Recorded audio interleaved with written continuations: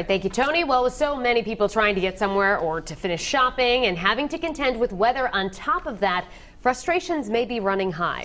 Eyewitness News reporter Jared Pliner continues our pinpoint weather team coverage now, live from the Providence Mobile Newsroom. Jared?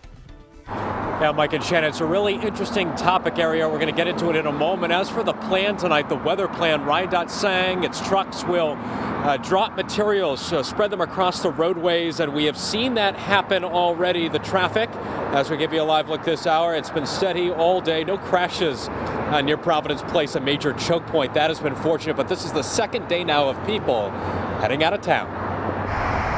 Millions of New Englanders on the move ahead of Christmas. A little weather to contend with tonight. This as gift buying is still not done for many stragglers, and with so many people out comes less than kind driving. Patience certainly wears thin, especially when you wait to the last minute to do your shopping. Traffic congestion around the malls is especially difficult. Diana Imondi is with AAA Northeast. A AAA study found almost 80% of drivers surveyed admitted to aggressive driving, even road rage. Aggressive driving might be any maneuver where you cause another driver to change their position on the roadway, hit their brakes, stop short. Almost as many said they believe the problem is bigger now than three years ago and New England drivers are on the naughty list. 30% more drivers will admit to honking, to tailgating, to those aggressive behaviors. Gestures, shouting, rolling down windows.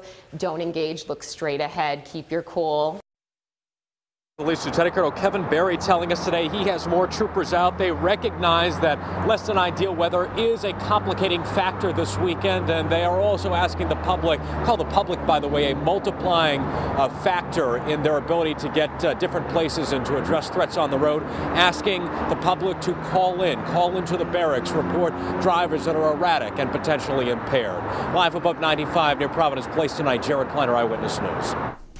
Thank you, Jared. And we also have a crew out monitoring the driving conditions in Breaking News 1. These are live pictures right now from Route 44 in Smithfield. Not much change since our live report at 530. At this hour, we can tell you that very light snow is falling on and off. The roads are wet, but not icy right now. And wherever you're going this weekend, the new and improved Eyewitness News and Pinpoint weather apps are great tools to have. You can get news, weather, and traffic alerts sent right to your phone or tablet and have access to live Pinpoint Doppler 12 radar anytime.